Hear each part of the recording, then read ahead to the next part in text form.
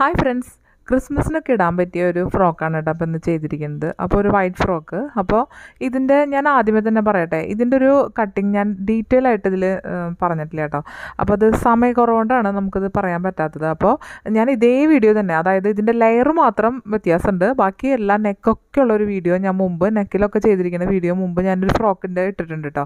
അപ്പോൾ അത് ഞാൻ ഡിസ്ക്രിപ്ഷൻ ബോക്സിൽ ഇടാം. അപ്പോൾ നിങ്ങൾ അത് കണ്ടോക്കിയിട്ട് ഇത് കണ്ടോക്കിയുള്ളൂ കേട്ടോ. അല്ലെങ്കിൽ സംശയമുള്ളത് നോക്കാം. അപ്പോൾ അത് ഡീറ്റെയിൽ ആയിട്ട് തന്നെ ഞാൻ പറയുന്നുണ്ട് കേട്ടോ.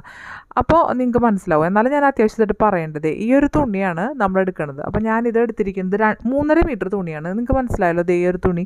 അപ്പോൾ ഓഫ് വൈറ്റ് തുണിയാണ് കേട്ടോ അപ്പോൾ വീഡിയോയിൽ എങ്ങനെ വരണേന്നൊന്നും അറിയില്ല. അപ്പോൾ ഇത് ഓഫ് വൈറ്റ് ആണ് ഇതിന്റെ ഇത് വരുന്നത് അപ്പോൾ നമുക്കൊരു മൂന്നര മീറ്റർ അപ്പോൾ ഞാനതൊരു നൂറ് രൂപയാണ് കേട്ടോ ഒരു മീറ്ററിന് നമ്മൾ എടുത്തിരിക്കുന്നത് അപ്പോൾ മൂന്നര മൂന്നര മീറ്റർ എങ്കിലും നമുക്ക് വേണം. കാരണം അത് നമുക്ക് ലെയറൊക്കെ വെച്ച് നമ്മളവിടെ ഫ്രിൽസ് പ്ലീറ്റ്സ് ഒക്കെ ഇട്ടല്ലേ വരണം. അപ്പോൾ അത് കാരണം കൊണ്ട് നമുക്ക് എന്തായാലും അത്രയും വേണ്ടി വരും. ഞാനൊരു രണ്ട് മീറ്റർ ലൈനിങ് കൊടുത്തിട്ടുണ്ട് കേട്ടോ ഇപ്പോൾ ഇതൊരു ചെറിയ സൈസാണ് അപ്പോൾ മുപ്പത്തിരണ്ട് ചെസ്റ്റ് അളവുള്ള ഒരു സൈസിനാണ് നമ്മൾ ചെയ്യുന്നത് കേട്ടോ അപ്പോൾ ആ ഒരു അളവിന് ദേ ഇതുപോലെ ഞാൻ തുണി ദേ നമ്മുടെ ലൈനിങ്ങിലാണ് ചെയ്യുന്നത്. നമ്മുടെ ലൈനിങ് തുണി ദേ ഇതുപോലെ നാലായിട്ട് മടക്കി വെച്ചു. ഇങ്ങനെ നിൽക്കുമ്പോൾ എനിക്ക് ഇങ്ങനെ വെക്കുമ്പോൾ എന്റെ അളവിനുള്ളത് കിട്ടുന്നുണ്ട് കേട്ടോ അപ്പോൾ കിട്ടാത്തവർക്ക് വേറെ തരത്തിൽ നമ്മൾ മടക്കിയെടുക്കുക. ഞാൻ മുമ്പ് വീഡിയോയിൽ പറഞ്ഞിട്ടുണ്ട് കേട്ടോ അപ്പോൾ എനിക്കിതിന് ഷോൾഡർ ഞാൻ എടുക്കുന്നത് ആറര ഇഞ്ചാണ് ഞാൻ ഷോൾഡർ എടുക്കുന്നത് കേട്ടോ അപ്പോൾ ആറര ഇഞ്ച് ഷോൾഡർ ഇപ്പോൾ ഷോൾഡറിന്റെ അളവ് ശരിക്കും ഇതിന് വേണ്ട. പക്ഷേ എന്നാലും നമ്മളിത് കൊടുക്കണം.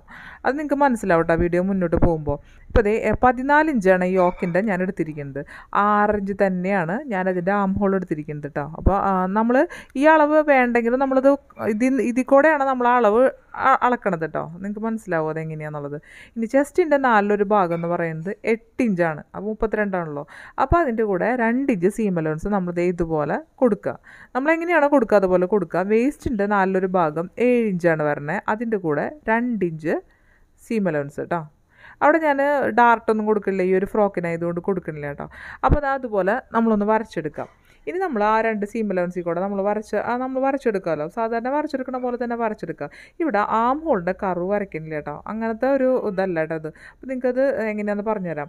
അപ്പോൾ അതാ അവിടെ നമ്മൾ ചെയ്യേണ്ടത് ഇനി അടുത്തതായിട്ട് ഇത്രയും ചെയ്ത് കഴിഞ്ഞാൽ നമ്മൾ അടുത്തായിട്ട് നെക്കാണ് ചെയ്യേണ്ടത് അപ്പോൾ നെക്കിന്റെ ഭാഗം എന്ന് പറഞ്ഞിട്ടുണ്ടെങ്കിൽ ഈ ഒരു ഭാഗത്ത് നമുക്ക് ചെയ്യാം സ്ക്വയർ ആയിട്ടാണല്ലോ ഇത് വരിക. അപ്പോൾ ഇതിന്റെ നെക്ക് എന്ന് പറഞ്ഞാൽ നമ്മൾ ഏറ്റവും ചെറുത് കുറച്ചളവിൽ എടുക്കുക നല്ലത് കേട്ടോ. അപ്പോൾ ഈ ഒരു സൈസിൽ ഞാൻ എടുക്കുന്നത് മൂന്നര ഇഞ്ച് വിത്താണ് നെക്കിന്റെ വിട്ടെടുക്കുന്നത് കണ്ടോ? നെക്കിന്റെ ലെങ്ത് എന്ന് പറഞ്ഞാൽ നാലിഞ്ച് മാക്സിമം എടുക്കുക. അതിൽ കൂടുതൽ എടുക്കാതിരിക്കുക നല്ലത്. കാരണം നന്നായിട്ട് നെക്ക് ഇങ്ങനെ താഴത്തേക്ക് ഇരുന്ന് പോകട്ടോ അപ്പോൾ സ്ക്വയർ പോലെയാണല്ലോ വരുന്നത്. ഇലാസ്റ്റിക് ആണല്ലോ ഇടുന്നത്. അപ്പോൾ ഞാൻ ഇതിലെടുത്തിരിക്കുന്നത് മൂന്നേ മുക്കാലാണ് എടുത്തിരിക്കുന്നത് കേട്ടോ അപ്പോൾ നമ്മൾ അതുപോലെ ഒരു ബോക്സ് ആക്കി എന്നാലും നാലിൽ കൂടുതൽ എടുക്കാതിരിക്കുന്നതാണ് നല്ലത്. ഇനി നമ്മൾ ആ ഒരു നമ്മുടെ ആ ഇതിൽ നെക്കിന്റെ ആ ഒരു പോയിന്റിൽ നിന്ന് ആ ഒരു കോർണറിൽ നിന്ന് നമ്മൾ ആ ഒരു എന്താ പറയുക നമ്മുടെ ആ ഒരു സീം അലവൻസിലേക്ക് നമ്മളിത് ഇതുപോലെ ഒന്ന് വരച്ചു കൊടുക്കാം കേട്ടോ അപ്പോൾ നമുക്ക് ഈ ഒരു ചെരിവ് ഇങ്ങനെ കിട്ടിയില്ലേ? ഇനി നമ്മൾ ആ ഒരു ഭാഗം റെഗ്ലൻ സ്ലീവാണ് ശരിക്കും പറയുകയാണെങ്കിൽ ഇത് വരണത്. അപ്പോൾ ദേ ഇതുപോലെ ആ ഒരു ഭാഗത്താണ് നമ്മൾ കട്ട് ചെയ്തെടുക്കേണ്ടത് കേട്ടോ ബാക്കി ഞാൻ പറഞ്ഞല്ലോ ഷോൾഡറിന്റെ ആ ഭാഗം നമുക്ക് ആവശ്യമില്ലയെന്ന് പിന്നെ ദേ ഈ ഒരു ഭാഗത്ത് ഏറ്റവും അടിയിലായിട്ട് ഒരു മുക്കാൽ ഇഞ്ച് ദേ ഇതുപോലെ ഹൈറ്റിൽ ദേ ഇതുപോലെ അടയാളപ്പെടുത്തി ദേ ഇങ്ങനെ ഒന്ന് ചെരിച്ച് വരച്ചു കൊടുക്കുക. നമ്മുടെ ഉടുപ്പ് തൂങ്ങാതിരിക്കാൻ വേണ്ടിയിട്ടാണ് കേട്ടോ നമ്മൾ ഇങ്ങനെ എല്ലാത്തിനും ചെയ്ത് കൊടുക്കണത്. അതിന്റെ നമ്മൾ ദേ ആ ഒരു ഭാഗത്തോടെ നമ്മൾ കട്ട് ചെയ്തെടുക്കുക. കണ്ടോ? അപ്പോൾ നമുക്ക് ആ ഒരു ഷോൾഡറിന്റെ ഭാഗം പോയില്ലോ? ഞാൻ പറഞ്ഞില്ലേ ഷോൾഡർ സ്ലീവൊക്കെ വേറെ തന്നെ നമ്മൾ വേറെ ഇതിലായിട്ട് തന്നെ ചെയ്യും കേട്ടോ അപ്പോൾ ഇതേ ഇതുപോലെയൊക്കെ ഒന്ന് കട്ട് ചെയ്തെടുക്കുക അപ്പോൾ നമുക്ക് ഇങ്ങനെ ഒരു ഷേപ്പാണ് നമുക്ക് കിട്ടുക. കണ്ടില്ലേ? ഇനി നമ്മൾ ഈ ഇതൊന്ന് എടുത്തിട്ട് നമുക്ക് വേറൊരു കാര്യം ചെയ്യാനുണ്ട്. ഒരു പ്രത്യേക അളവ് എടുക്കാനുണ്ട് കേട്ടോ നമ്മളിതൊന്ന് എടുത്തിട്ട് നമ്മൾ ഇതിന്റെ ഏറ്റവും വേസ്റ്റിന്റെ ഒരു ഭാഗം ഉണ്ടല്ലോ അത് സീം അലവൻസ് അടക്കം എത്രയുണ്ടോ എന്ന് നോക്കുക അപ്പോൾ നമ്മൾ ഈ ഒരു സീം അലവൻസ് എന്നുള്ളത് പതിനേഴര ഇഞ്ചാണെന്ന് നമുക്ക് ഓർത്ത് വയ്ക്കണം കേട്ടോ അത് നമുക്ക് വേറൊരു അളവിനാണ്. ഇതുപോലെ പേപ്പർ എടുക്കുക കേട്ടോ ഫോൾഡഡ് സൈഡിൽ നിന്നാണ് ചെയ്യേണ്ടത്. ഫോൾഡഡ് സൈഡ് തന്നെ വേണം ഇത് ചെയ്യാനായിട്ട്. അപ്പോൾ നമ്മുടെ ലെങ്ത്ത് കൊടുക്കുന്നത് സ്ലീവിന്റെ ലെങ്ത്ത് പതിനാല് ഇഞ്ചിൽ ഞാൻ ഏതോ ഒരു ലൈൻ വരച്ചിട്ടു. ഇനി ഇതിന്റെ നെക്കിന്റെ ഭാഗം കൊടുക്കാം കേട്ടോ അപ്പോൾ നെക്കിന്റെ ഭാഗം എന്ന് പറയുന്നത് ദേ ഞാൻ മൂന്നേ മുക്കാൽ ഇഞ്ചാണല്ലോ കൊടുത്തത്. അപ്പോൾ ഒരു ഏഴേകാൽ ഇഞ്ചിന്റെ അടുത്ത് നമുക്ക് വരുമല്ലോ. അപ്പോൾ ആ ഒരു ഭാഗം നമുക്ക് ഏഴേകാൽ ഇഞ്ചെങ്കിലും നമുക്കിത് കിട്ടാൻ വേണ്ടി ആ പേപ്പറിന്റെ ആ ഫുൾ ഭാഗമല്ലേ ആ ഭാഗം ഫുള്ള് ഞാൻ എടുക്കുന്നുണ്ട് കേട്ടോ അപ്പോൾ ദേ ഇതുപോലെ എടുക്കാം. അപ്പം നമുക്ക് ദേ ഇതുപോലെ എടുക്കുമ്പോൾ ആ ഒരു ഭാഗത്ത് വെച്ചിട്ടാണ് നമ്മൾ ഇതിന്റെ അളവ് എടുക്കുന്നത് കേട്ടോ ഞാൻ ആ പേപ്പറിന്റെ ആ ഭാഗം ഫുള്ള് ഞാൻ എടുക്കുന്നുണ്ട് അത് എങ്ങനെയാണെന്ന് നിങ്ങൾക്ക് മനസ്സിലാവും. ഇത് ചെയ്തു വരുമ്പോൾ കേട്ടോ ആ ഒരു ഭാഗം നെക്കിന്റെ ഭാഗമാണ് വരുന്നത് കേട്ടോ ഞാനത് പ്രത്യേകം പറഞ്ഞത് അത് നിങ്ങൾക്ക് മനസ്സിലാവും എങ്ങനെയാണെന്നുള്ളത് നെക്കിന്റെ ഭാഗം അതാണ് വരുന്നത് അപ്പോൾ ഇതാ ഞാൻ ഈ നമ്മൾ ആ വെച്ച പേപ്പർ എടുത്തു. ഇതേ രണ്ടായിട്ട് മടക്കിയിട്ട് നമ്മൾ പിടിക്കുകയാണ് അപ്പോൾ അതെ ഈ പേപ്പറിലേക്ക് ഇത് ഈ വീഡിയോയിൽ കാണുന്ന പോലെ നിങ്ങൾ ശ്രദ്ധിച്ച് ചെയ്താൽ മതി കേട്ടോ അത് ഈ വീഡിയോയിൽ ശ്രദ്ധിക്കുക എന്നിട്ട് അതുപോലെ ചെയ്യുക ഇതേ ഇങ്ങനെ വെക്കുക കേട്ടോ നമ്മുടെ ആ നെക്കിന്റെ ആ ഒരു സ്ക്വയർ ആയിട്ടുള്ള ഭാഗം അവസാനിക്കില്ല? ആ ചെരിവ് തുടങ്ങുന്ന ആ ഭാഗം അത് ഒരുമിച്ച് വെച്ചിട്ട് ദേ ഈ പേപ്പറിലേക്ക് ദേ ഇതുപോലെ വെച്ച് കൊടുക്കുക കേട്ടോ നമ്മൾ വെച്ചിട്ട് ദേ ഇങ്ങനെ പോയിന്റ് ഒരുമിച്ച് കൂട്ടി വെച്ച് കൊടുക്കുക കണ്ട? ദേ ഇങ്ങനെ ഇപ്പോൾ നിങ്ങൾക്ക് മനസ്സിലായല്ലോ എന്താണ്? ആ കണ്ട ആ ഒരു ചെരിവ് നമ്മളവിടെ വരയ്ക്കാനാണ് കേട്ടോ നമുക്ക് വരയ്ക്കാനായിട്ട്. അപ്പോൾ നമ്മൾ ആ ഒരു പോയിന്റ് അവിടെ അടയാളപ്പെടുത്തി കൊടുത്തിട്ട് നമ്മൾ അതൊന്ന് വരച്ചെടുക്കുക കേട്ടോ കണ്ടോ? ഇത്രയും ഭാഗം. അപ്പോൾ അതെ ഈ ഒരു ഭാഗമാണ് നമുക്ക് കിട്ടുക.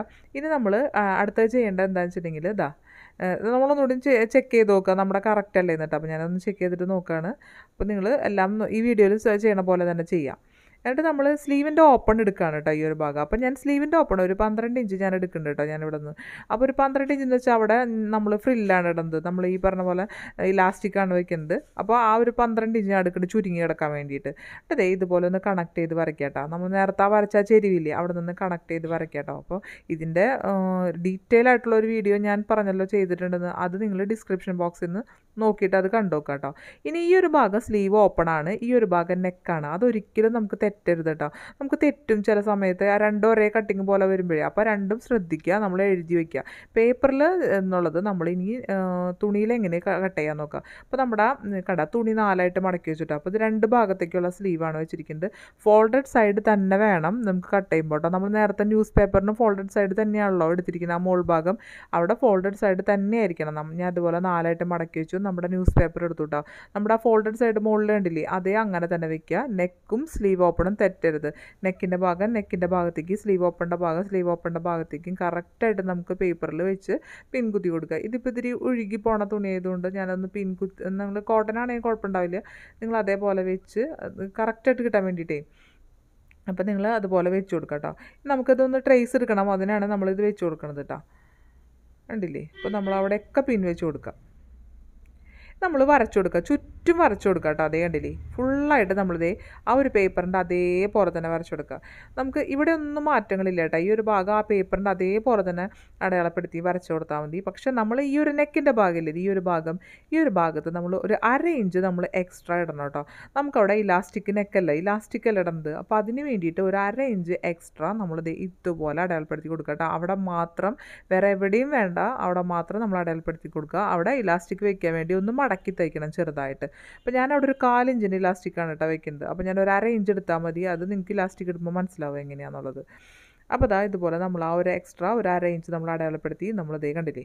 അതൊന്ന് കട്ട് ചെയ്തെടുക്കാം കേട്ടോ എന്നിട്ട് നമ്മൾ അത് മാറ്റി വയ്ക്കുക നമുക്കറിയാലോ ആ ഒരു ഭാഗം പിന്നെ നമ്മുടെ ആ ഒരു സ്ലീവ് നെക്കിന്റെ ഭാഗം തെറ്റാതിരിക്കാൻ വേണ്ടിയിട്ട് നമ്മൾ ചെറിയൊരു കട്ട് കൊടുക്കുക കേട്ടോ അപ്പുറത്ത് സ്ലീവ് ഓപ്പൺ ആണ്.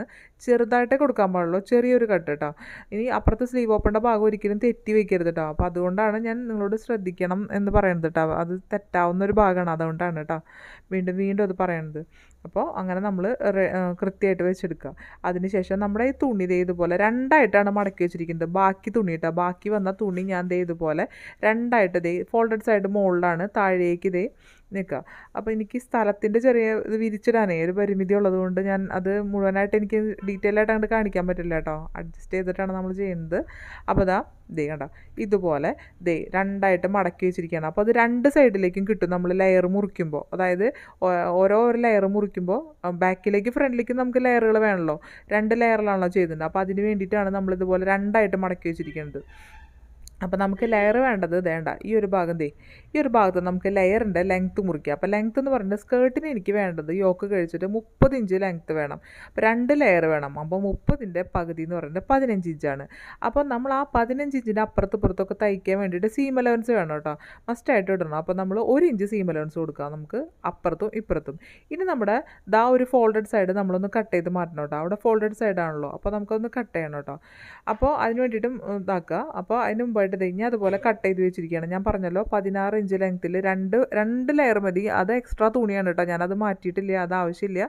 പക്ഷേ ഈ രണ്ട് മുകളിലത്തെ രണ്ട് ലെയർ മാത്രം മതി. നമുക്ക് പതിനാറ് ഇഞ്ചും പതിനാറ് ഇഞ്ചും ഞാൻ പറഞ്ഞല്ലോ പതിനഞ്ചിന്റെ കൂടെ ഒരു ഇഞ്ച് കൂട്ടിയിട്ടുള്ള ലെയറാണ് അവർ എക്സ്ട്രാ തുണി ഞാൻ മാറ്റിയിട്ടില്ല കേട്ടോ അത് മൂന്ന് ലെയറല്ല അപ്പോൾ ഇനി നമ്മൾ ഈ ഒരു ഭാഗമില്ല ഞാൻ പറഞ്ഞല്ലോ ആ ഒരു ഭാഗം നമ്മളൊന്ന് കട്ട് ചെയ്ത് കളയണം കേട്ടോ ദേ ഇതുപോലെ ഒന്ന് കട്ട് ചെയ്ത് കളയാനല്ല സോറി കട്ട് ചെയ്ത് മാറ്റണം. ഇനി നമുക്ക് ഈ ലെയറിന്റെ വിട്ട് നോക്കാം കേട്ടോ അപ്പോൾ നമ്മൾ ദേ ഞാൻ അതിവിടെ ഒന്ന് കട്ട് ചെയ്ത് മാറ്റുന്നുണ്ട് കേട്ടോ അത് ആ ഒരു ഭാഗം. കാരണം നമുക്കത് ഫ്രണ്ടിലോട്ടും ബാക്കിലോട്ടും കിട്ടണമല്ലോ അതിന് വേണ്ടിയിട്ട്. അപ്പോൾ ദേ അതേ കണ്ടില്ലേ രണ്ട് ലെയർ വരണത്.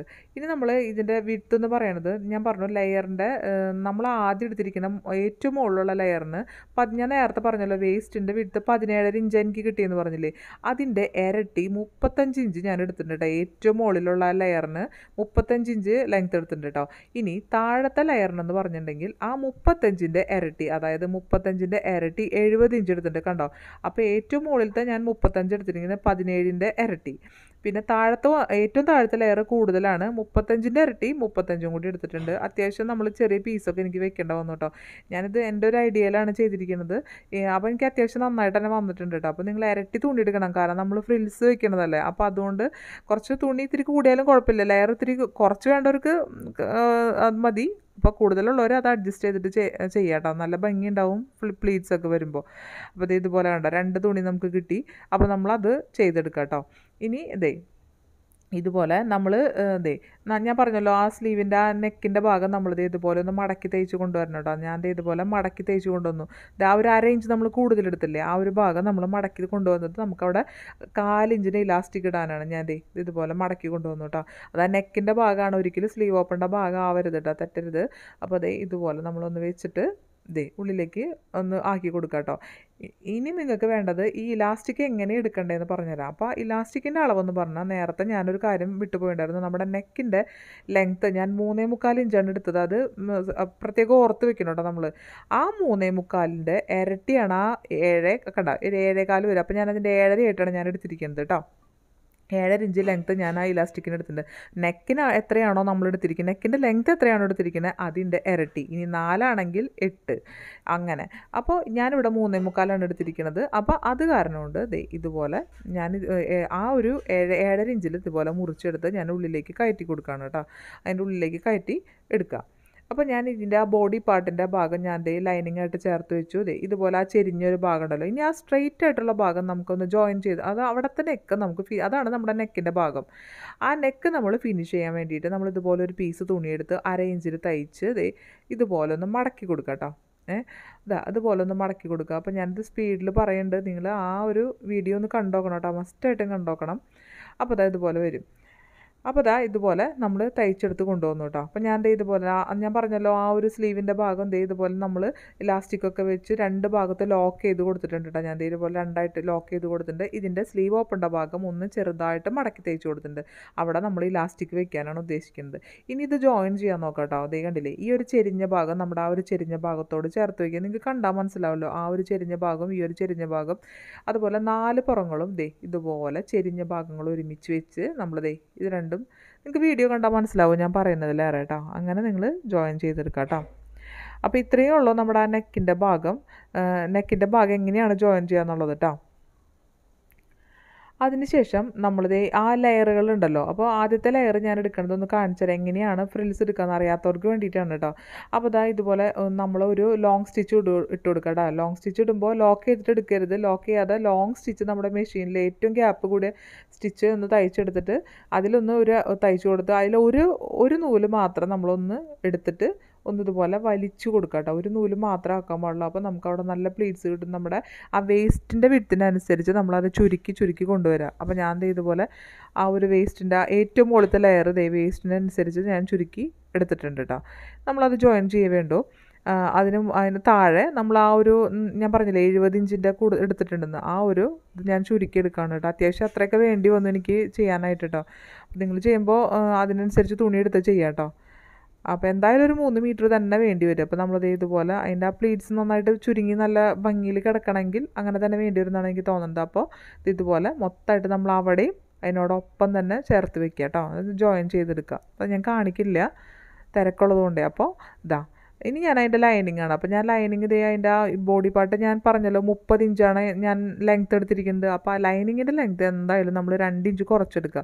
അപ്പോൾ ഞാനൊരു ഇരുപത്തെട്ട് ഇഞ്ച് ഞാൻ എടുത്തിട്ടുള്ളൂ കേട്ടോ അപ്പോൾ ദേ ഇതുപോലെ എടുത്ത് വയ്ക്കുക എന്നിട്ട് നമ്മൾ ഇതുപോലെ വെക്കുമ്പോൾ നമുക്ക് മനസ്സിലാവല്ലോ ആ ഒരു പീസ് ദേ കറക്റ്റായിട്ട് നമുക്ക് കിട്ടുന്ന തരത്തിൽ നമ്മൾ വെക്കുക. ലൈനിങ്ങിനെ ഞാൻ കറക്റ്റായിട്ട് മുറിച്ച് വെച്ചിരിക്കുകയാണ് കേട്ടോ അപ്പോൾ ഇനി നമ്മൾ ചെയ്യേണ്ടത് എന്താ വെച്ചിട്ടുണ്ടെങ്കിൽ ആ ലൈനിങ്ങിന് ഇതുപോലെ ഈ ഒരു പ്ലീറ്റ്സ് നമ്മൾ പ്ലീറ്റ്സ് കൊടുത്തിട്ടാണ് ചെയ്യേണ്ടത് കേട്ടോ ഞാൻ ആ ലൈനിങ്ങിന് അപ്പോൾ ഇത്തിരി കൂടി ഭംഗി കിട്ടും അതിന് വേണ്ടിയിട്ട്.